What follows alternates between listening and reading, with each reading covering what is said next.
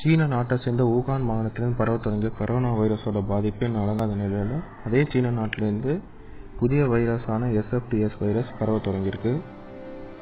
உலகம் முழுக்க கரோனாவோட பாதிப்புனால இதுவரைக்கும் ஏழு லட்சத்துக்கும் அதிகமானவங்க இறந்துருக்காங்க. அது மட்டும் இல்லாமல் சுமார் ரெண்டு கோடி பேர் பாதிக்கப்பட்டிருக்காங்க.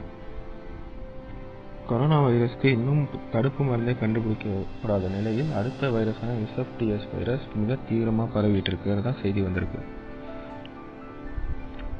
ஜியாங்சு மாகாணத்தை சேர்ந்த ஒரு பொண்ணுக்கு தொடர்ந்து இருமல் மற்றும் காய்ச்சல் இருந்திருக்கு. இதனால் அவங்களுக்கு கொரோனா நோய் பரிசோதனை மேற்கொண்டிருக்காங்க. ஆனால் அவங்களுக்கு டெஸ்ட் ரிசல்ட் நெகட்டிவ்னு வந்திருக்கு. டெஸ்ட் ரிசல்ட் நெகட்டிவ்னு வந்தாலுமே அவங்களுக்கு தொடர் காய்ச்சல் இருந்திருக்கு. இதனால் அவங்களோட ரத்த மாதிரிகளை பரிசோதித்து பார்க்கும்போது அவங்களோட ரத்தத்தில் வெள்ளை அணு மற்றும் தத்த அணுக்களின் எண்ணிக்கை அளவு ரொம்பவே கம்மியாக இருக்கிறத கண்டுபிடிச்சிருக்காங்க. ஒரு மாத தீவிர சிகிச்சைக்கு பிறகு குணமடைந்து